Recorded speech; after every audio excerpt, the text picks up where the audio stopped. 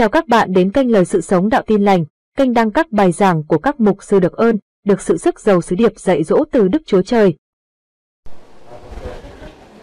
Hallelujah.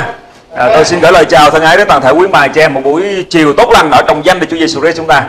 Xin Chúa ngài dùng lời của ngài để nâng đỡ khích lệ và ban thêm sức mạnh cho mỗi chúng ta ở trong ơn của Chúa. À, trong những ngày sau này chúng ta rất là cần có ơn và sức mạnh của ngài cho tâm linh của chúng ta ở trong những cái bối cảnh uh, của những cái sự hỗn loạn và lo lắng sợ hãi về dịch lệ bệnh tật rồi những cái uh, sự khó khăn về công ăn việc làm uh, tương lai của chúng ta. Uh, hãy cứ trung tín theo Chúa thưa quý mài chị em. À, bởi vì đấng đắc thắng đang sống ở bên trong mọi người chúng ta. Amen. Tôi cầu nguyện xin thánh linh của Chúa ngài thêm sức lực cho những linh hồn của chúng ta. Nhất là những ai đang mệt mỏi những ai đang cần bổ sức lại nguyện lời của Chúa buổi chiều nay sẽ thêm sức cho mọi người chúng ta. À, lời của Chúa ở trong sách tiên tri Esai đoạn 40 từ câu 29 cho đến câu 31 đã chép thế này. Esai đoạn 40 câu 29 cho đến 31 Ngài ban sức mạnh cho kẻ nhọc nhằn, thêm lực lượng cho kẻ chẳng có sức. Những kẻ trai trẻ cũng phải mòn mỏi mệt nhọc, người trai tráng cũng phải vấp ngã. Nhưng ai trong đời đức giê va thì chắc được sức mới. Cất cánh bay cao như chim ưng, chạy mà không mệt nhọc, đi mà không mòn mỏi buổi chiều nay thì tôi xin được phép chia sẻ về chủ đề đó là đổi mới như đại bàng à, thưa quý mài chị em đức chúa trời ngài muốn chúng ta là những người tin chúa khi chúng ta tin nhận ngài và đi theo Ngài để thờ phượng phục vụ Chúa thì chúng ta cần phải được cất cánh bay cao như chim đại bàng. À, trong tất cả những loài vật thì đại bàng là con vật thống lĩnh là vua của không trung. Ở trên mặt đất thì sư tử chính là chúa sơn lâm, nhưng mà nói về bầu trời thì đại bàng chính là loài chim có sức mạnh và nó thống trị ở trên tất cả những loài chim ở trong tự nhiên. Và Đức Chúa Trời Ngài muốn cho tôi và chúng ta là những người thay Chúa Chúng ta cũng có sức mạnh của một con chim đại bàng Và mỗi khi chúng ta ai đó nhìn thấy con chim đại bàng Thì chúng ta sẽ thấy rằng là đây là một con chim có sức mạnh Và cũng như có cái sự oai nghi Có một cái sự lãnh đạo rất là uh, mạnh mẽ đúng không quý mài chị em à, Nó dường như là một cái biểu tượng của những con người có cái sức mạnh Và có sự can trường, có sự dũng cảm Và có một cái sự uh, cam kết rất là lớn ở trong cái sự nghiệp Trong cái công việc của họ và trong cái chi hướng của họ. Lời của Chúa cũng chép ở trong sách Thi Thiên đoạn 84 câu uh, số 5 như thế này.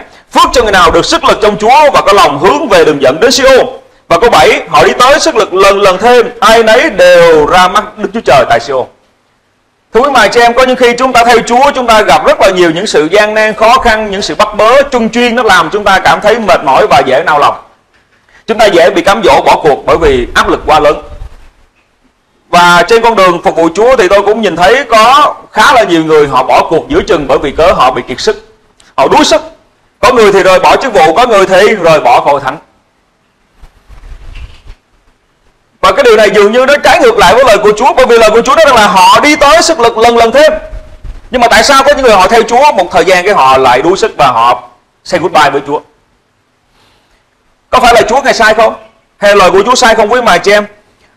tôi thấy rằng là thật sự uh, khi chúng ta đối diện với điều này chúng ta nhìn thấy có một cái uh, vấn đề rất lớn đó là bởi vì cỡ con người chúng ta không biết cách để nhận lãnh được sức lực của Chúa không biết cách để được đổi mới trong sức mạnh của Chúa ban cho thay vì chúng ta trông đợi nơi Đức Chúa Trời thì chúng ta lại chuyển hướng và chúng ta trông đợi con người. Chúng ta trông đợi cái lòng thương hại của lẫn nhau hoặc là cái sự quan tâm của nhau. Tôi theo Chúa cả chục năm nay rồi nhưng mà hội thánh với mục sư chẳng cho tôi đồng nào. Tôi theo Chúa rồi mà uh, chẳng ai giúp đỡ tôi một xu nào hết.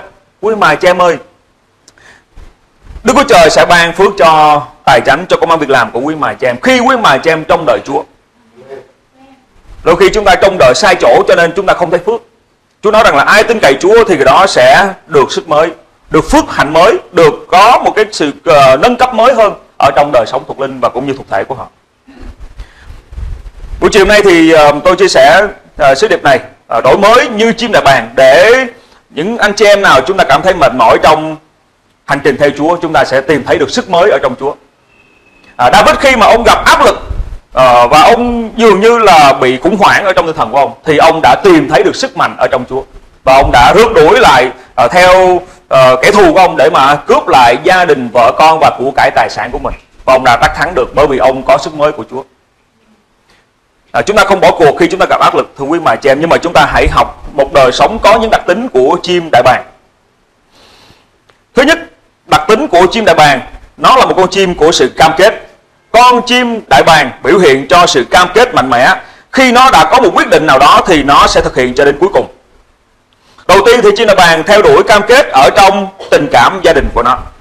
Con chim đại bàng nó sẽ kết hôn vào độ tuổi từ 4 cho đến 5 tuổi. Tức là khi mà nó đã 4 năm tuổi rồi thì nó sẽ tìm chim cái và nó sẽ uh, kết hôn. Và khi mà nó theo đuổi bạn tình của nó quý bà chị em thì con chim cái nó sẽ có cái uh, cách của nó đó là nó sẽ quăng một cái cây que hoặc là một cái uh, đồ vật gì đó quăng cho cái cái cái cái, cái cây đó rớt xuống. Và con chim đại bàng đực là cái con chim theo đuổi con chim cái đó nó sẽ à, bay xuống và nó sẽ gấp được cái cái cái thanh gỗ đó hoặc là cái uh, cái cái đồ vật của con chim cái nó quăng xuống. Và khi mà con chim đực nó, nó cặp được cái cái ờ, cái cái cái, cái cây đó nó sẽ đem trở lại với con chim cái. Và thế là con chim cái nó cầm cái khúc que đó nó lại quăng tiếp tục xuống và con chim đực nó lại phải bay xuống và nó cắp lên. Và cứ hai ba lần như vậy đó thưa quý mài chị em thì con chim cái sẽ biết rằng là con chim đực này nó có một cái sự cam kết và có một cái quyết định theo đuổi cho đến cuối cùng. Và con này là con rất là nghiêm túc ở trong tình cảm. Sao nghe giống con người chúng ta quá đúng không? Và khi mà quý mài chị em à, ờ, khi mà con chim cái và chim đực này hai con chim đại bàng này nó kết hôn với nhau thì nó không bao giờ nó ngoại tình, không bao giờ nó bỏ con chim cái, nó không bao giờ nó lén phán với con chim khác hết. Và đại bàng sống rất là chung thủy với nhau.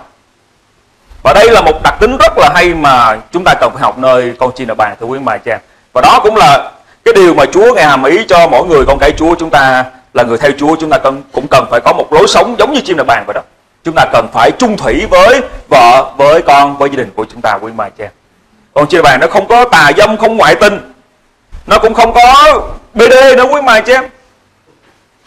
Chúng ta nhìn vào tự nhiên chúng ta thấy rằng là không có con vật nào bd giống như con người mình hết đúng không ạ? À? đực ra đực, cái ra cái, trống ra trống, mái ra mái. Chứ không có chuyện mà mà bd hay gây hay lưỡng tính. À lưỡng tính thì có. Nhưng mà nó là thuộc về thực vật hoặc là những cái giống rất là đặc biệt thôi. Ở, như là hải mã ở dưới biển thì nó khác. Nhưng mà đa phần những con vật mà Chúa dựng nên ở trên mặt đất này, chúng nó đều đực là đực cái là cái rõ ràng giới tính. Là con cái chúa chúng ta không có uh, kỳ thị đối với lại những người họ uh, có cái cái giới tính thứ ba. Chúng ta không kỳ thị con người tội lỗi nhưng mà chúng ta kỳ thị tội lỗi quý mài cha chúng ta cần phải tránh xa khỏi cái lối sống tội lỗi đó bởi vì nó như men tội lỗi như men và nó sẽ ảnh hưởng trên những ai chúng ta không biết lại thật của Chúa và những ai tìm cách để đồng hóa với những người như vậy. Thưa quý mài chị em, chúng ta cần phải sống một đời sống tinh sạch và có một sự cam kết ở trong hôn nhân, trong gia đình của chúng ta. Nếu chúng ta muốn được phước ở trong đời sống tinh thần cũng như thể xác của chúng ta, thì anh chị em ơi, điều đầu tiên chúng ta cần phải làm đó là chúng ta cần phải chung thủy với gia đình của chúng ta. Có sự cam kết. Và khi con chim đại bàng nó đã chọn bạn đời của nó rồi thì chúng nó sẽ xây tổ của chúng nó nặng khoảng chừng tầm 2 tấn, sâu 20 feet và rộng 7 cho đến 8 feet và cái tổ của nó rất là to quý mà chị em nó có thể xây tổ ở trên những cái cây rất là to và cao. Và cái tổ của chim đại bàng đó là nó xây ở trên um, những cái ngọn đá hoặc là trên những vách núi đá rất là cao. Ở tại những nơi mà có gió lớn à, và chỗ đó là chỗ mà không ai có thể dễ dàng đến được. Đúng rồi cái tổ của nó nặng 2 tấn. Và nó xây tổ trên những cái cây rất là to như là cây cổ thụ hoặc là những cây lớn á chứ không phải là những cái cây sung bình thường của mình đâu. Và nó có thể nó chất ờ, những cái ờ, cành cây hoặc là khúc gỗ để mà bao chung quanh tổ của nó. Và nó lót nào là những cái lông hoặc là những cái ờ, lá cây hoặc là những cái gì đó để giữ ấm cho con cái của nó. Bởi vì khi mà con chim đại bàng nó xây tổ của nó đó quý vị? Thì uh, nó không phải là xây một lần là xong nhưng mà mỗi năm thì nó lại tiếp tục xây cho cái tổ đó nó càng ngày càng tốt hơn và càng ngày càng vững chắc hơn đó lý do tại sao mà cái tổ cung chi tờ bàn á nó rất là nặng. Ờ, tại vì mỗi năm nó đều uh, gọi là update nó cập nhật cho cái tổ của nó nhiều hơn. Và khi mà cung chi tờ bàn nó xây tổ như vậy là nó đang có một cái sự cam kết cho việc uh, uh, việc uh, uh, nuôi dưỡng cho thế hệ mai sau nữa quý vị. Chứ nó không phải chỉ là tập chú cho cái thế hệ của nó nhưng mà nó có một cái sự cam kết cho thế hệ con cháu của nó sau này tức là giả sử mà sau này sau này mà nó chết á, thì con cháu của nó cũng sẽ được sống ở trong cái tổ đó. Và cái tổ đó sẽ là trường tồn cho đến lâu dài. Con cháu của nó ba bốn đời sau cũng sẽ có thể ở là cái tổ đó. Điều này dạy cho tôi và chúng ta một bài học đó là chúng ta khi chúng ta xây dựng gia đình của chúng ta thì chúng ta cũng cần phải suy nghĩ về dòng dõi con cháu của chúng ta. Cái điều gì chúng ta để lại cho con cháu của mình? Có thể chúng ta có nhiều sự lựa, lựa chọn khác nhau. À, có người thì để lại tiền của tài sản đất đai nhà cửa cho con cái của mình.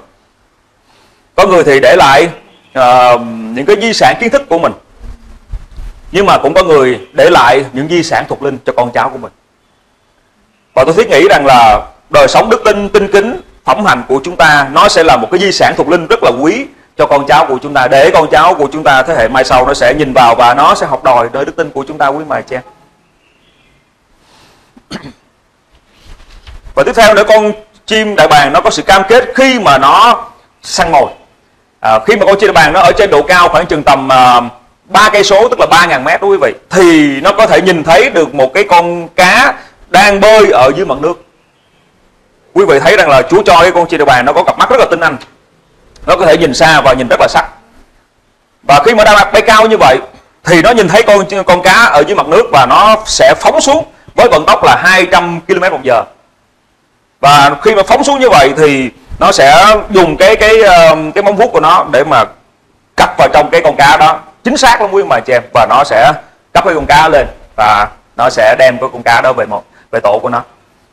À, chúng ta cần phải sống giống như con chim mừng thưa quý mà chị em. Bởi vì chim mừng nó không bao giờ nó ăn xác chết. Nó chỉ ăn những con thú còn tươi còn ngon còn sống và con chim ưng á, con chim đại bàng quý vị, nó khác với cái con chim kênh kênh cái con chim quạ con chim quạ với kênh kênh nó nó thích ăn xác chết. Nó ăn dơ lắm. Cho nên Chúa cái dùng hình ảnh con chim đại bàng này để ví von với đời sống con cái Chúa. Chúng ta cần phải đổi mới để chúng ta trở thành những con chim vàng của Chúa. Chim đại bàng của Chúa chỉ thích ăn những cái thức ăn tươi sống, ngon lành mà thôi. Đó chính là lời của Đức Chúa Trời, quý mài cha lời của Chúa là lời sống, lời của Chúa là bánh sống, đúng không ạ? Không phải là bánh chết nhưng mà lời của Chúa, đó là sự sống cho tâm linh của chúng ta mỗi ngày. Lời của Chúa không bao giờ cũ cả, quý mài cha dù là kinh thánh đã được viết cách đây khoảng 2 năm vừa rồi, nhưng mà lời của Chúa vẫn luôn tươi mới cho tâm linh của mỗi người chúng ta, mỗi ngày trong ơn của Chúa. Cho nên, quý mài cha ơi, đừng bao giờ bỏ lời của Chúa, nhưng mà hãy tìm lời của Chúa, tìm mana tươi mới của Chúa cho tâm linh của chúng ta. Bởi vì chúng ta là những chim, đại bàng đừng tìm những cái lời chết đừng tìm những cái điều gì chết. Ở trong thế gian này như là những cái tội lỗi những cái bí bọt những cái thú vui tạm bợ trong trần gian này. Đó là những cái điều chết. Chúng ta cần phải tránh xa quý mài cha và khi con chim đại bàng nó đã gấp được mồi của nó nó sẽ không bao giờ nó buông ra cái mồi của nó. Có một cái thước phim tài liệu à, ghi nhận rằng là có một cái con chim đại bàng nó đã bắt được một con cá rất là lớn và khi mà nó bắt cái con cá rất lớn như vậy đó thì cái con con cá đó nó lặn xuống dưới. Và cái con chim đại bàng này nó không buông ra quý mà cho em. Nó vẫn uh, giữ lấy cái con cá đó và thậm chí là cái thân của con chim đại bàng này nó lún dưới nước luôn nhưng mà con chim đại bàng vẫn không buông ra. Và thế là có một cái con chim đại bàng khác nó nhìn thấy con chim đại bàng này đang lún ở dưới nước đang ngập dưới nước thì con chim kia nó bắt đầu nó tới và nó phụ. Nó nâng cái con chim ờ, đại bàng này lên. Và thế là hai con chim cùng nhau uh, sống và uh, có được cái thức ăn tươi mới điều đó chúng ta thấy rằng là khi mà đã kết ước để chúng ta làm một công việc gì đó, thì chúng ta cần phải làm cho đến cuối cùng. Dù có trả giá, dù có phải hy sinh đánh đổi tính mạng, thì chúng ta cũng cần phải cam kết cho đến cuối cùng, quý anh chị em. Và một trong những cái cam kết mà chúng ta cần hết sức giữ cho đến cuối cùng, đó chính là cam kết tin và thờ phượng Chúa Giêsu Christ cho đến chết, đúng không, quý mà cha khá giữ trung tín cho đến chết, rồi ta sẽ ban cho ngươi mạo trị thiên của sự sống khi chúng ta đã tin nhận Chúa Jesus Christ làm cứu Chúa đã sống bên rồi thì quý mà quý mà cha em ơi chúng ta đừng bao giờ buông ra đừng bao giờ bỏ cuộc. Bởi vì chúng ta đang có sự sống đời đời. Đôi khi vì cớ đức tin chúng ta nơi Chúa mà chúng ta chấp nhận sẵn sàng để trả giá đánh đổi. Chúng ta có thể mất đi những người bạn nhậu của chúng ta trước đây. Chúng ta có thể mất đi những người bạn uh, từng uh, uh, chích choát với chúng ta trước đây. Chúng ta có thể mất đi những người bạn đã từng uh, uh, trộm cướp với họ trước đây và khi chúng ta theo Chúa như vậy, chúng ta sẽ phải trả giá. Còn nếu chúng ta không trả giá để theo Chúa, chúng ta vẫn sẽ phải trả giá, đúng không quý mà chị em? Tôi nhớ khi mà tôi khoảng chừng tầm à, 18 tuổi, lúc đó tôi à, là một học sinh khoảng chừng tầm à, học lớp 11 12 gì đó. Đang trong trường thì tôi nhận cái thông tin đó là thằng bạn thân của tôi ở trong nhà thờ lúc đó tôi nhóm ở trong nhà thờ truyền thống CMA thằng bạn thân của tôi nó đã bị ờ, công an bắt bởi vì cớ nó đi ăn trộm. Nó đi uh, cướp đồ người khác. Tôi nghe rất là sốc và tôi hỏi những người bạn khác rằng là tại sao mà thằng đó nó lại lại lại lại bị như vậy? Nó hiền lành nó tốt lắm mà. Và những người bạn nói với tôi á không phải đâu tấn tại vì nó chơi với bạn xấu nó chơi với bạn xấu.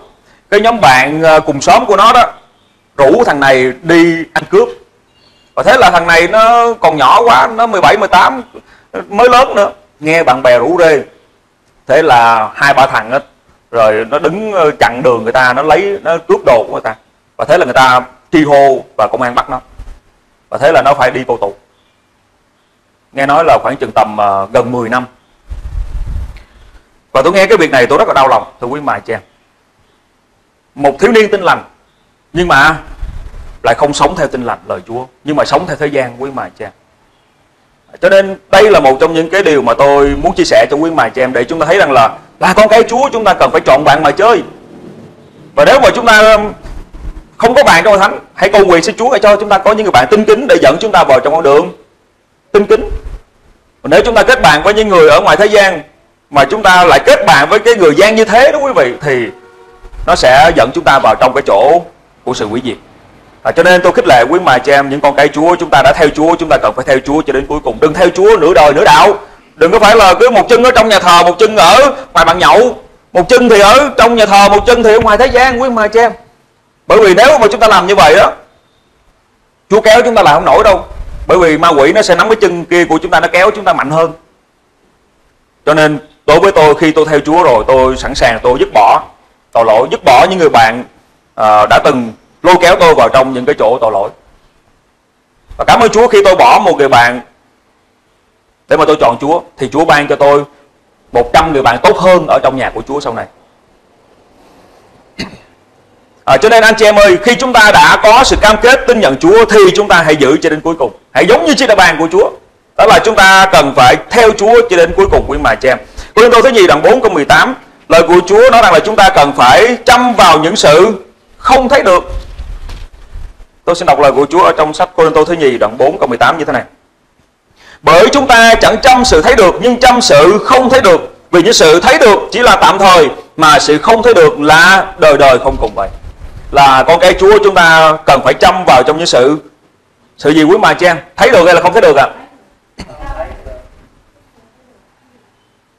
có thật mới vượt được đạo chứ bây giờ nói phước phước lắm mà tôi không thấy trong túi của tôi tiền làm sao mà mà mà mà mà, mà gọi là phước được? Quý mà chị em ơi lời của Chúa kích lệ chúng ta là hãy chăm vào những sự không thấy được đó. Bởi vì những cái gì mà chúng ta thấy được thì nó chỉ là tạm thời mà thôi. Đôi khi một số con cái Chúa chúng ta chưa hiểu điều này. Mới tin Chúa chưa hiểu điều này. Chúng ta nghĩ rằng là phước đó chính là tiền bạc. Phước đó chính là bồng vàng nữ trang rồi xe cộ nhà cửa này kia. Quý mà chị em ơi đó chỉ là một phần của phước thôi. Cái phước thật sự đó chính là tội lỗi của chúng ta được tha linh hồn của chúng ta được cứu tấm lòng của chúng ta được bình an với Chúa và có sự vui mừng của Ngài.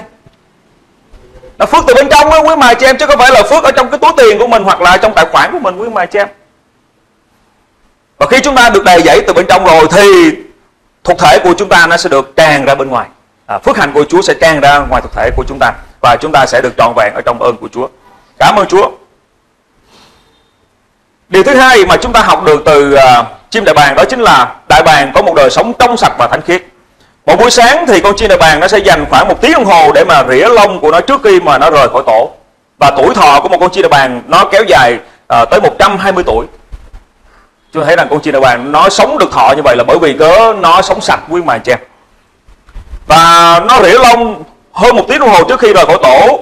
À, bằng cách đó là nó sẽ à, bởi vì cái cái bộ lông của con chim đại bàng nó có một cái um, cái cái sự quyết định trong việc săn mồi của nó. Nếu mà cái lông của chim đại bàng mà nó không có um, mướt á, không mượt á hoặc là có một cái cọng nào đó mà nó chĩa ra ngoài thì khi mà con chim đại bàng này nó bay đó quý vị thì nó sẽ tạo ra cái âm thanh uh, tiếng động. Và từ xa thì con mồi nó có thể nó nghe được tiếng động đó và con mồi nó sẽ chạy thoát. Cho nên là con chim đại bàng nó phải ờ, rỉa cái lông của nó làm sao cho bóng cho mượt và bảo đảm làm thế nào khi bay thì không tạo ra tiếng động. Thì lúc đó nó mới hiệu quả trong việc săn mồi. Và nó phải dành một tiếng đồng hồ để mà nó rỉa lông và nó hà cái hơi của nó vào trong cái bộ lông của nó. Để cái hơi của nó đó, nó có cái um, cái cái hơi nước và nó sẽ làm cho mướt cái bộ lông đó và việc à, hà hơi lên bộ lông như vậy mỗi buổi sáng, nó sẽ khiến cho bộ lông con chim chim đại bàng nó sẽ trở nên mượt và sạch lông. Điều đó hình bóng cho sự sức giàu của đức linh của chúa ở trên đời sống của chúng ta là người theo chúa mỗi ngày chúng ta cần phải có một thời gian để chúng ta được tương giao với chúa và làm sạch bộ lông tức là tâm lòng của chúng ta trước mặt chúa quý bà chị em. Và chúng ta cần phải cầu nguyện và hãy tha thứ, quên đi tất cả những cái gì trong quá khứ nó cầm buộc chúng ta. Và phải nhắm mục đích mà chạy để chúng ta có thể vượt giải về sự kêu gọi trên trời. Nếu chúng ta không tha thứ, chúng ta không làm sạch tấm lòng của chúng ta mỗi ngày, quý mà chị em, thì chính cái sự cay đắng tổn thương nó sẽ khiến chúng ta không thể hiệu quả trong sự săn mồi được và chúng ta không thể trở thành một chiếc đại bàn hiệu quả được và có thể chúng ta sẽ mệt mỏi và chúng ta sẽ trở thành con chim quạ chứ không phải là đại bàng nữa, quý mà chị em. Bởi vì là đại bàng thì chúng ta cần phải bắt mồi và hiệu quả trong việc săn mồi. Chúng ta thấy rằng là có những năng đề đôi khi nó đến là bởi vì có chúng ta không chịu làm sạch. Tôi ví dụ, có những người bị sâu răng là bởi vì có họ không đánh răng mỗi ngày. Đúng không, quý mà chị em? Đôi khi mình không làm sạch bộ răng của mình đó thì chính cái sự dơ giấy đó nó sẽ khiến cho răng của chúng ta bị sâu. À, đôi khi có những người họ theo Chúa một thời gian rồi tự nhiên mình thấy trong lòng họ đầy dẫy sự cay đắng và có những cái gì đó nó kỳ lắm. Của thế gian xác thịt đầy dẫy ở trong đó. Thì ra đó là bởi vì cớ họ đã quên đánh răng thuộc linh. Tức là có những cái gì đó cũ kỹ giận hờn buồn giận thuộc về xác thịt đó thì họ không quăng đi nhưng mà cứ giữ đó tích tụ dần tích tụ dần và khiến cho cái điều đó cái tội lỗi đó nó quỷ phá cuộc sống tâm linh của họ.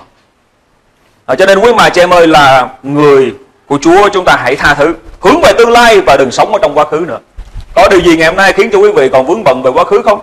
Có người nào mà đã từng nói một cái lời nào đó khiến cho anh chị em cảm thấy buồn phiền và cảm thấy thất vọng bị tổn thương trong lòng của mình bây giờ không? Anh chị em ơi chúng ta hãy tha thứ. Hãy tha cho người đó. Đừng nói rằng tôi sẽ tha cho cái thứ đó nhưng mà hãy nói rằng là lạy chúa con sẽ tha thứ cho người đó. Amen tại vì khi chúng ta nói rằng là tôi tha cho cái thứ đó đó có nghĩa là chúng ta vẫn chưa tha đâu. Để chúa con tha thứ cho cái thứ đó. Chúng ta không được con phải mềm mại hơn. Xin chúa giúp đỡ chúng ta để chúng ta có sự tha thứ. À, tha thứ không phải là mình quên đi và mình không còn nhớ gì hết. Nhưng mà tha thứ có nghĩa là chúng ta phóng thích ra khỏi lòng của chúng ta những cái nỗi đau. Chúng ta vẫn còn có thể nhớ về cái sự việc đó nhưng mà lòng của chúng ta không còn đau và không còn nặng nề nữa quý mài chị vết thương đã được lành rồi có thể có những vết sẹo để lại, nhưng mà những vết sẹo đó nó không có đau nữa. Trên người của tôi có rất là nhiều vết sẹo từ khi tôi còn bé, tôi hay té xe rồi tôi té ngã chỗ này chỗ kia. Và tôi rờ vào trong những cái vết sẹo đó, tôi không bao giờ tôi còn cảm thấy đau nữa, bởi vì nó đã lành rồi quý cho em nhưng mà nếu vết sẹo nào mà chúng ta rờ vào mà nó còn đau đó quý vị, thì có nghĩa là nó chưa có lành. Và nếu chưa lành thì chúng ta hãy tiếp tục cầu nguyện phóng thích sự tha thứ. Và Chúa, ngài sẽ chữa lành cho tấm lòng của chúng ta. Khi chúng ta mở lòng của mình ra để Chúa, ngài có thể bước vào và ngài chữa lành những tổn thương đó cho nên giải quyết quá khứ đó là một trong những điều mà chúng ta cần phải hết sức là nghiêm túc ở trước mặt Chúa quý mài cha nếu chúng ta không giải quyết quá khứ thì tương lai của chúng ta nó sẽ không thể nào uh, kết quả được giống như là con chim là bàn được bởi vì bộ lông của chúng ta nó không có mướt và không có sự sức dầu của Chúa Xin Chúa Ngài ban ơn và sức giàu trên lời nói, trên việc làm, trên hôn nhân, trên công ăn việc làm, tương lai, trên hậu từ của quý mài cha. Bởi vì quý mài cha em là những con chim đại bàng ưa thích sự thánh sạch và thánh khiết. Amen. Quý mài Trang có muốn trở thành đại bàng của Chúa không? À, khi mà ở trong tự nhiên nhìn thấy con chim đại bàng người ta cảm thấy rất là thán phục nó đúng không ạ? Bởi vì nó là con chim quý. Nhưng mà khi mà người ta thấy con chim kênh kênh đó, thì người ta sợ. Bởi vì sao?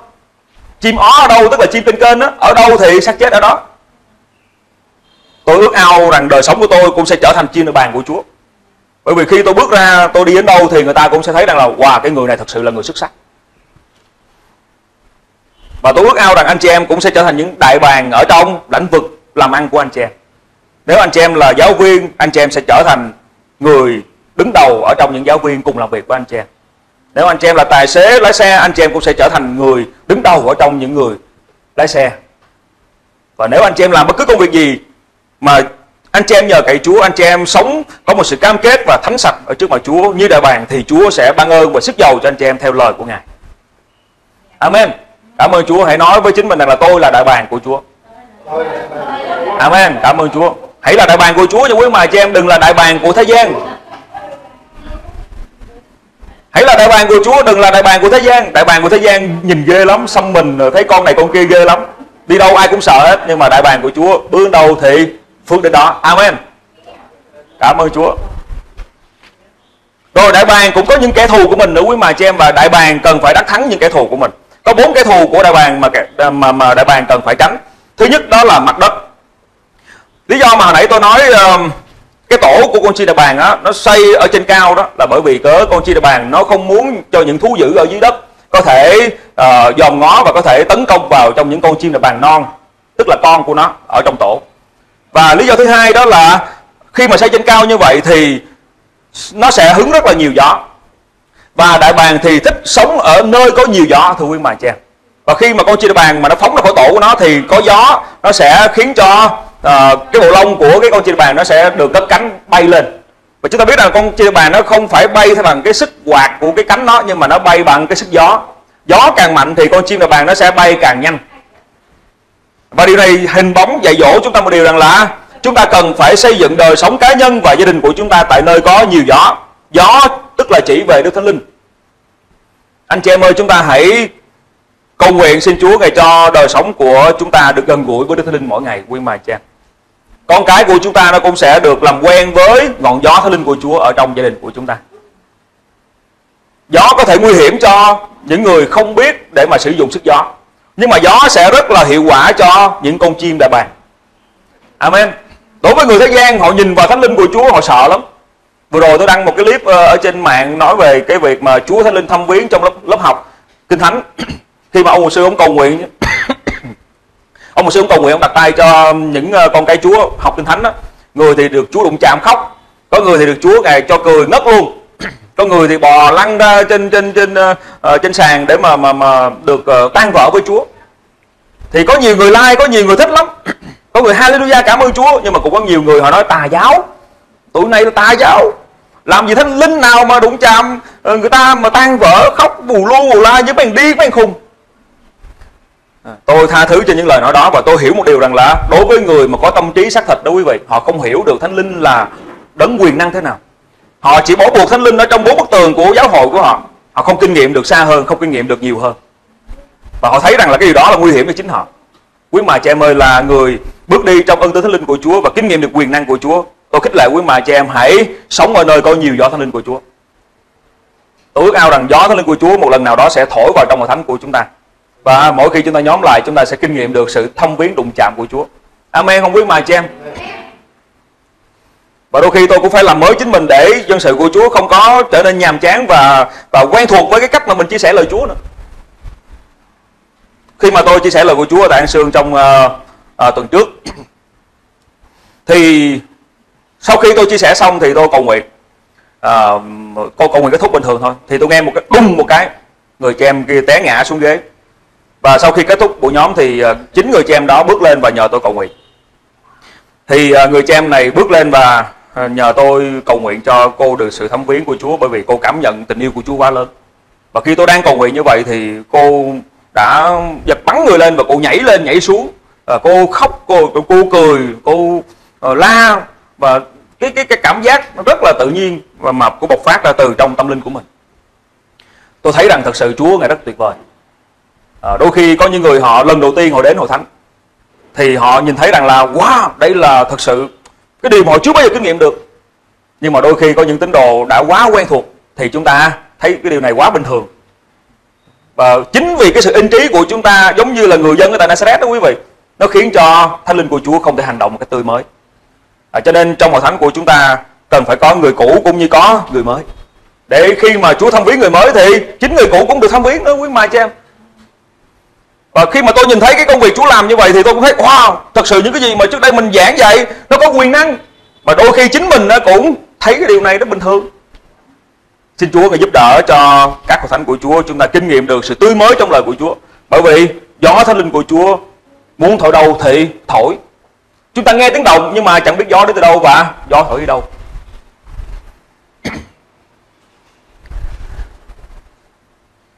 Có những mục sư ờ, ở bên Mỹ về Việt Nam. Thật sự khi mà ông về Việt Nam đó là một cái hiện tượng. Và khi mà ông tổ chức những cái buổi bồi linh truyền giảng lớn á, thánh linh của Chúa làm việc rất là mạnh mẽ. Nhiều người được phước, được Chúa ngài thay đổi thông viếng nhưng mà khi mà ông ở bên hội thánh, bên ờ, bên bên chỗ ổng ở trên, ở bên Hoa Kỳ đó thì khi mà ông giảng online chẳng có ai bấm like, chẳng ai share, chẳng ai bình luận gì hết. Khi hỏi kỹ thấy, người ta nói, tôi thấy ông mỗi tuần lễ rồi. Bình thường quá, mục sư có cái gì đâu mà like, share. Nhưng mà khi ông mục sư đó qua Việt Nam thì nhiều người rất là thích. Và nhiều người được phước nó quý mài cho tôi thấy rằng thật sự đôi khi chính cái sự ờ, quen thuộc nó khiến cho nhiều người không kinh nghiệm được phước hạnh của Chúa cho nên chúng ta cần có ngọn gió tươi mới của Chúa thổi vào trong đời sống tâm linh của chúng ta, thổi vào trong gia đình của chúng ta, thổi vào trong hội thánh của Chúa đúng không mài chị em. Và khi thánh linh của Chúa thổi vào thì chúng ta sẽ trở nên những con người mới. Và chúng ta thấy rằng là, wow, cái việc bay cao với Chúa nó không phải là bởi mình, nhưng mà là bởi thánh linh của Chúa. Khi thánh linh của Chúa thổi thì chúng ta không cần phải cố gắng gì nhiều cả, nhưng mà Chúa sẽ đem chúng ta đến những cái nơi cao hơn, xa hơn và ở trong những cái nơi rất là phước hạnh hơn. Kẻ thù thứ hai của con chim đà bàng đó chính là con rắn. À, rắn chính là hình ảnh cho ma quỷ.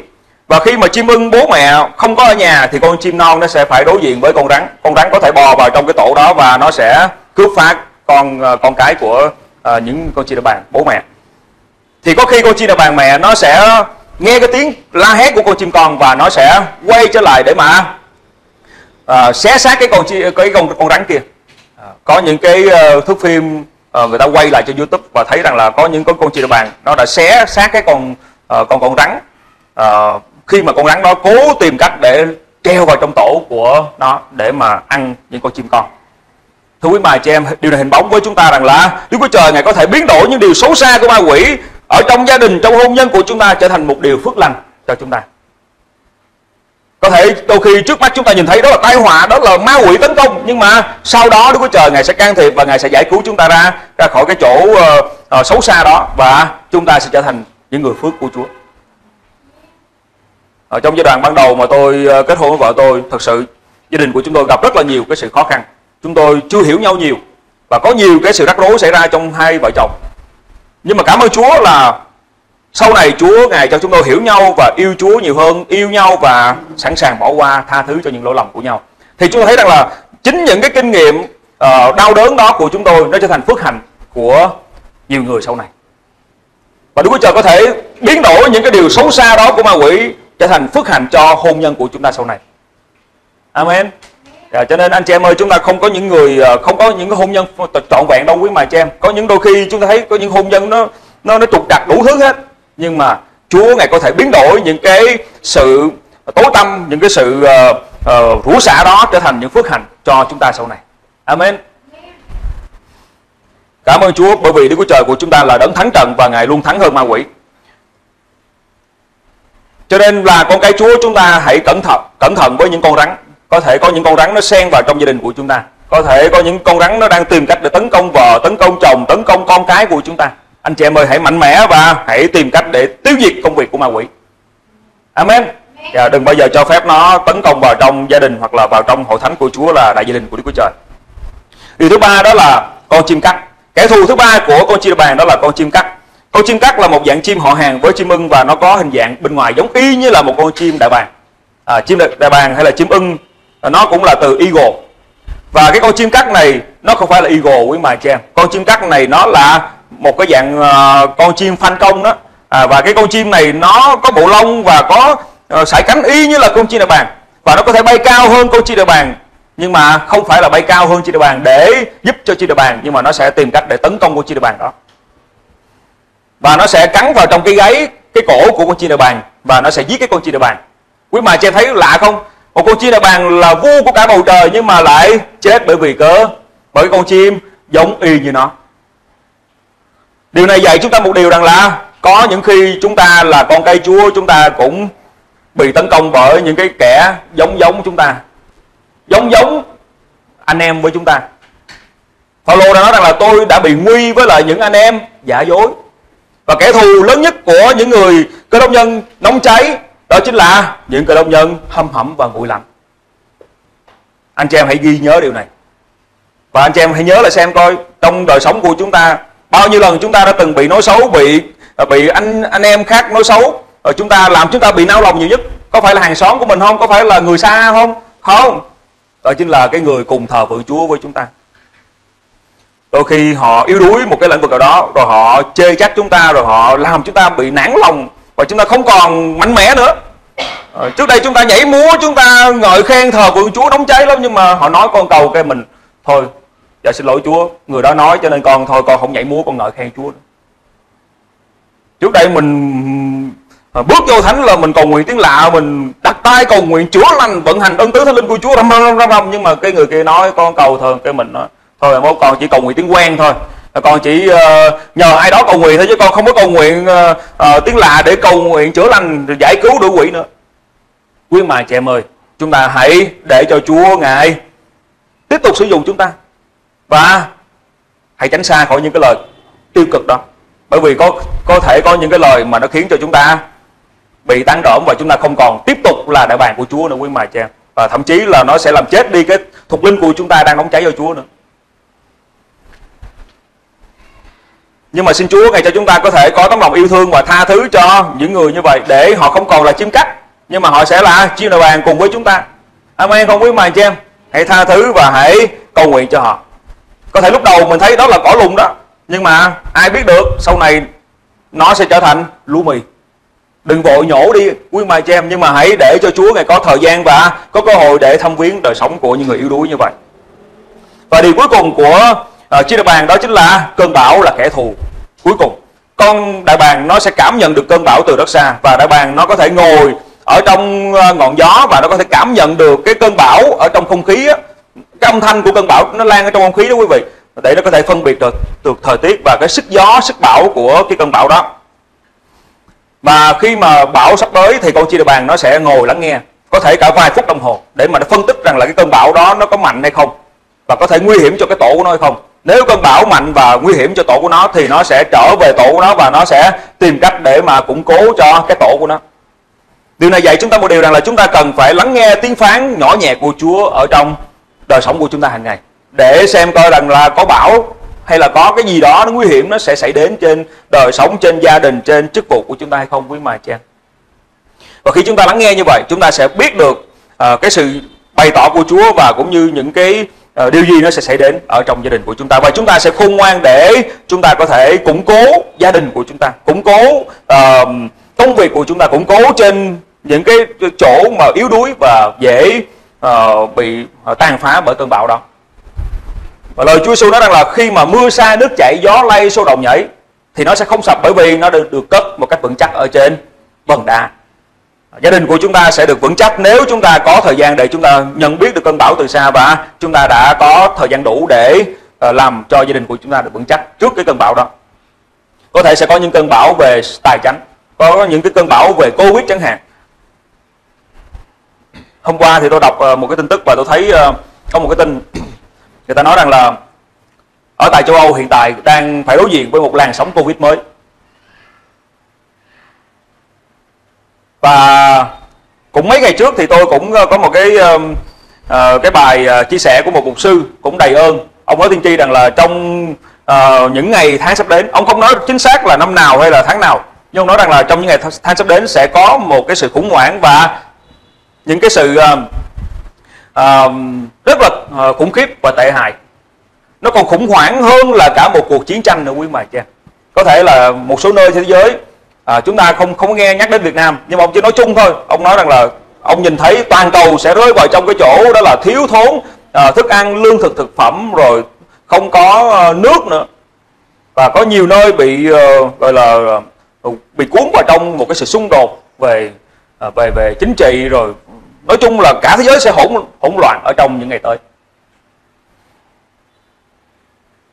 Và tôi thiết nghĩ rằng là điều đó nó cũng có thể xảy ra lắm. Tại vì Chúa Giêsu ngài nói rằng là cái sự mà Chúa ngài tái lâm ấy ngày trở lại đó, nó sẽ giống như là một cái sự chuyển già của một người đàn bà đương đau đẻ.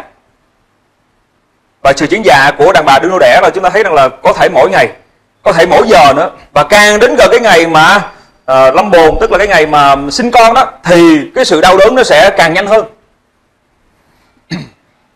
năm 2021 à, ờ, năm 2020 thế giới của chúng ta đã đối diện với ờ, uh, Covid-19 đúng không ạ? Rồi đến năm 2000 mới đầu năm nay tức là năm 2022 thì thế giới của chúng ta đối diện với lại cái cuộc chiến Ukraine với lại Nga. Nó gây ra cái sự khủng hoảng về dầu mỏ rồi thức ăn lương thực phẩm tất cả mọi thứ đều bị lạm phát và giá cả leo thang. Nhưng mà không biết rằng là tới năm 2023 này thì cái chuyện gì sẽ xảy ra? Chúng ta không biết. Nhưng mà nếu mà ai đó được Chúa bày tỏ về những cái điều mà nó xảy ra trong quá khứ đó, như là sẽ có Covid, sẽ có chiến tranh này kia đó thì có lẽ những người đó sẽ bị ném đá nhiều nhất bởi vì nói tiêu cực. Đúng không? Sao mà anh có Chúa mà anh nói tiêu cực vậy? Sao anh loan báo cái điều điều điều dữ vậy? Nhưng mà chúng ta biết rằng là Chúa có thể bày tỏ trước cho tôi tới của Chúa. Cho nên chúng ta không coi thường những lời tiên tri. Nhưng mà chúng ta cũng không quá bi quan trước cái lời tiên tri đó. Chúng ta biết rằng là Chúa là đấng thắng đang sống ở bên trong chúng ta và Ngài có thể ban sức mạnh cho chúng ta ngay cả giữa cơn bão tố quý bà cha. Chim đại bàng đó là loại chim có khả năng để bay cao hơn cơn bão và nó có thể thống trị được bầu trời. Ngay cả giữa lúc bão tố, nó vẫn có sức mạnh để mà nó có thể lướt gió ở trong cơn bão đó. Và điều cuối cùng đó là chim ưng có thời gian để thay lông mỗi 10 năm một lần. Và khi nó thay lông như vậy thì nó sẽ nhổ bỏ tất cả những cọng lông ở trên người của nó. Và nó sẽ uh, uh, tìm cách để mà nó sẽ vứt ra những cái móng vuốt ở trên trên trên chân của nó. Và nó nó đập cái mỏ của nó vào trong đá để mà cái cái cái cái mỏ của nó cái nó nó sẽ bị bể ra để mà nó có thể thay một cái mỏ mới. Tức là con chim ưng á trên địa bàn đó quý vị, nó sẽ thay lông và thay luôn cả những cái móng vuốt của nó, thay luôn cả bộ dạng của nó sau mỗi năm, sau sau mỗi 10 năm một lần. Điều này dạy chúng ta một điều rằng là chúng ta cần phải làm mới lại sức lực thuộc linh của chúng ta, cần phải khiêm nhường hạ mình để kiên ngăn cầu nguyện với Chúa. Nếu bất cứ khi nào chúng ta cảm thấy năng đề quá lớn và chúng ta cảm thấy mình không còn là mình cách đây 10 năm về trước nữa, thì anh chị em ơi, hãy bước vào trong sự cầu nguyện tìm kiếm Chúa, kiên ngăn cầu nguyện có thể chúng ta không kiêng ăn 40 ngày. 40 đêm giống như Chúa Giêsu nhưng mà chúng ta có thể kiêng ăn 3 ngày 7 ngày, hoặc là ba tuần lễ giống như Daniel đã từng cầu nguyện kiêng ngang và con chim đại bàng mỗi khi mà nó thay lông như vậy đó quý vị, thì nó sẽ mất khoảng 40 ngày để mà nó thay lông. Và nó thay lông ở trong một cái hốc đá. Và tại hốc đá đó, không có người nào có thể đến được. Nó rất là cao, nhưng mà lại có nước để mà chảy ra cho con chim đại bàng đó nó uống. Và trong suốt thời gian thay lông đó sẽ có những con chim đại bàng khác, nó sẽ đứng từ xa và nó sẽ canh chừng cho những cái con chim mà đang thay lông và thay hình đổi dạng như vậy. Và khi mà chúng ta nhìn con chim đại bàng mà nó không có lông, nó trùi lũi như vậy, không có mỏ cũng như không có móng vuốt nữa, thì chúng ta thấy rằng cái con chim đại bàng nó xấu xí lắm. Nhưng mà sau 40 ngày thì con chim đại bàng nó nó sẽ mọc lại lông mới và nó sẽ có lại bộ móng vuốt của nó và tất cả mọi thứ được phục hồi trở lại. Nó sẽ trở thành một con chim đại bàng, tiếp tục sải bước và sải cánh ở trên ở không trung cảm ơn Chúa tôi cũng đang cầu nguyện xin Chúa ngày cho tôi có thời gian để tôi cũng được thay lông thuộc linh của tôi tôi ước ao rằng tôi sẽ có một cái khoảng thời gian nào đó trong cuộc đời của tôi để tôi có thể kiên nhẫn cầu nguyện 40 ngày với Chúa, để chính mình được đổi mới và không còn một cái bộ dạng cũ của mình nữa. Điều này đòi hỏi chúng ta phải có một sự trả giá, thưa quý mà cha. Tôi nghe nói có một à, mục sư hiện tại hội thánh của ông là con cờ đầu trong những sự hưng của hội thánh Việt Nam. Và tại thánh của ông thì mỗi năm đều có chương trình cầu nguyện kiên ngăn 40 ngày 40 đêm. Và diễn ra liên tục như vậy mỗi năm đó quý mài cha bởi vì họ nói rằng là nếu mà không kiên ngăn cầu nguyện 40 ngày 40 đêm thì không có phục hưng gì hết. Và một sư nào mà hầu vì Chúa trong thánh đó cũng ít nhất là phải có một lần kiên ngăn cầu nguyện 40 ngày 40 đêm.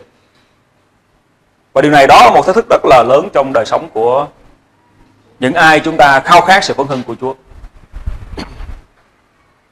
Tôi biết có một sư ở tại Việt Nam ông cũng ờ, rất đầy ơn của Chúa. Mỗi khi ông xuất hiện là hàng hàng hàng hàng, hàng trăm hàng ngàn người kéo đến. Và ông mỗi khi chủ nhật ông đến hội thánh là hội thánh đầy nhóc người đến nhờ ông cầu nguyện. Nhưng mà thời gian để gặp ông nói chuyện uống cà phê tâm tình thì không có. Ông luôn dành những thời gian rảnh của ông để mà chăm sóc gia đình. Thứ nhất. Thứ hai đó là ông kiên ngang cầu nguyện tìm kiếm Chúa từ thứ hai cho đến thứ sáu thậm chí thứ bảy nữa quý vị. Có lần gia đình ông có cái việc gì đó để mà nói chuyện với ông trực tiếp nhưng mà ông là người, người không có sử dụng điện thoại không có facebook không có nhắn tin gì hết.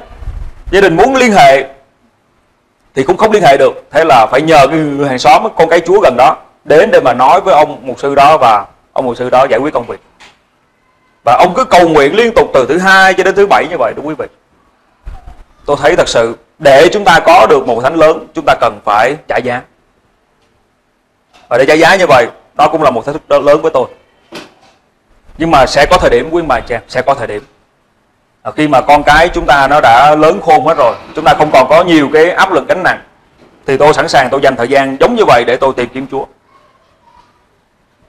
và lúc đó thì quý vị có thể sẽ không có nhắn tin không có điện thoại không có ờ, nhờ tôi qua Facebook được ờ, giống một sư kia vậy đó nhưng quý vị có muốn Chúa ngài sẽ thông viếng hành động hội thánh của Chúa giống như vậy không cảm ơn Chúa Xin Chúa Ngài ban phước cho quý vị qua lời của Chúa và cũng hãy nhớ đến chúng tôi những mục sư, những tôi tới Chúa đang giảng dạy trong thánh mỗi tuần Rema.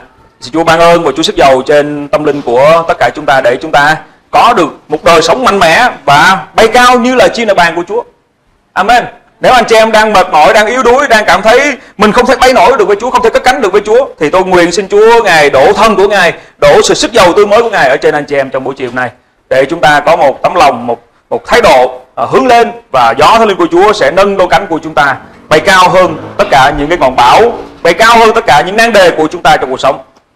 Cảm ơn Chúa xin Chúa ban ơn và Chúa ngài hành động ở trên mỗi người chúng ta trong thời gian này. À, tôi xin à, kính mời quý vị cùng nhau đứng lên và chúng ta sẽ cùng cầu nguyện lạy Chúa dấu chúng con, cảm ơn Chúa bởi vì lời của Chúa buổi chiều nay nhắc nhở mọi người chúng con rằng chúng con cần phải sống đời, sống trong đời Chúa. Giống như là một chim ưng vậy, Chúa ơi. Một chiếc đại bàng của Chúa, chúng con cần có sức mạnh của Ngài. Bởi vì nếu không có gió thánh linh của Chúa, Nếu không có sức mạnh tươi mới của Chúa ban cho chúng con Chúng con không có một bộ lông vững chắc và trong sạch, Thì chúng con sẽ không thể nào bay cao và hiệu quả với Chúa được. Xin Chúa giúp đỡ chúng con. Để công dân của Chúa Giờ phút này mỗi người chúng con sẽ tìm thấy được ân điển ở trong sự gì của Chúa và chúng con sẽ không theo Chúa với khả năng tự nhiên của chúng con nữa nhưng mà chúng con theo Chúa với sức mạnh mà Chúa ban chúng con khi chúng con chống đợi Chúa chúng con tin cậy Ngài thì xin Chúa Ngài đừng để chúng con bị hổ thẹn nhưng xin Chúa cho mắt và lòng chúng con luôn hướng về Ngài luôn trong đợi ơn phước của Ngài luôn trong đợi ân huệ của Ngài luôn trong đợi sức mạnh của Chúa làm mới lại tâm linh của chúng con và Chúa ơi chúng con công bố rằng quyền năng sức mạnh ân điển của Chúa sẽ đến với tâm linh của chúng con giờ phút này xin Chúa thông viếng những tấm lòng nào đang mòn mòn mỏi đang ngã lòng đang cảm thấy kiệt quệ bởi vì cỡ tổn thương bởi vì cỡ yêu sức. Không thể theo Chúa nổi. Xin Chúa ngày nâng đỡ anh chị em con giờ phút này để chúng con không còn nằm than vãn ở trong nan đề của chúng con nữa nhưng mà chúng con sẽ là những chim đại bàng của Chúa. Chúng con sẽ lướt gió để chúng con có thể bay cao và chúng con sẽ trở thành những uh, những người lãnh đạo có thể cai trị trong gia đình của chúng con có thể cai trị ở trong lĩnh vực mà Chúa đặt để chúng con ở trong công việc. Và chúng con sẽ trở thành những người uh, có một cái tầm mức Ờ, à, bóc dạt trọn vẹn trong Christ nữa Chúa ơi. Xin Chúa giúp đỡ chúng con để chúng con trở thành nguồn phước cho những người xung quanh của chúng con. Là một người mạnh mẽ chứ không phải là một người yếu đuối. Trong danh Đức Chúa Giêsu Christ xin thân của Chúa ngài đến. Xin đưa thánh linh ngài đến và thăm viếng chúng con Chúa ơi. Ngài tha thứ cho những lỗi lầm những sai phạm những sự ô uế những cái sự thỏa hiệp của chúng con đối với thế gian trong những ngày vừa qua. Chúa ơi có những tội lỗi nào chúng con đã mở cửa cho nó chúng con đã cho phép nó làm tổn hại đời sống tâm linh của chúng con? Xin Chúa ngài tha thứ và cho chúng con được sự sức giàu của ngài trở lại để chúng con được tiếp tục có thể gian cánh bay cao cùng với Chúa. Và chúng con tin rằng là khi có Chúa đi cùng với chúng con thì không cơn bão nào có thể nhấn chìm chúng con được. Không có nắng đề nào có thể làm chúng con bị bị bị phá sản được Chúa ơi. Xin Chúa ngài kéo chúng con đến gần với Chúa càng hơn. Để khi càng gần đến Chúa thì chúng con sẽ càng được trở nên giống như Chúa và mạnh mẽ giống như Ngài. Con cảm ơn Chúa. Xin Chúa cho chúng con có một tâm linh, có sự cam kết vững chặt với uh, cam kết uh, với Chúa Giêsu Christ để chúng con không bao giờ quên đi lời cam kết của chúng con đó là chúng con nhận Ngài làm Chúa làm chủ đời sống chúng con thì chúng con sẽ theo Chúa cho đến cuối cùng. Chúng con sẽ không bao giờ bỏ Ngài. Nhưng xin Chúa Ngài cho lời của Ngài luôn cứ động lại trong lòng chúng con. Và chúng con sẽ trở thành những môn đồ trung tín theo Chúa trung kiên theo Ngài. Và chúng con sẽ không bỏ Ngài cho đến ngày mà Ngài trở lại. Con cảm ơn Chúa. Chúa sẽ giúp đỡ chúng con. Đều thánh của Chúa được tăng trưởng được mạnh mẽ. Và tại đây sẽ có những con chim ưng của Chúa được ra đời. Còn cùng bố trong danh Chúa Jesus Christ sẽ có những con chim ưng có những con chim đại bác à, những người lãnh đạo ở trong lĩnh vực mà họ đang thống trị. Họ sẽ là những người lãnh đạo ở trong công an việc làm của họ. Họ sẽ được Chúa cất nhắc bay cao và có thể bay cao hơn cái mức khả năng của họ nữa trong danh của Chúa Jesus Christ. Cảm ơn Chúa, xin Chúa ban phước cho ông bà, anh chị em con. Để chúng con trở lại đây trong tuần lễ sau với một sức mạnh tươi mới, với một năng lực tươi mới, với những lời làm chứng tươi mới mà Chúa ban phước chúng con hầu cho dân sự của Chúa được phước và được gây dựng. Con cảm ơn Chúa. Cho con xin dâng tất cả mọi sự vinh quang, sự ngợi khen, chúc tụng quyền năng ờ, và sự sức mạnh thuộc về Ngài. Con cầu nguyện trong danh Đức Chúa Giêsu Christ. Amen. Amen. Cảm ơn quý bà chị em. Quý thính giả xem, nhớ bấm đăng ký kênh và nhấn rung chuông để không bỏ lỡ video mới nhất ra hàng ngày. Xin cảm ơn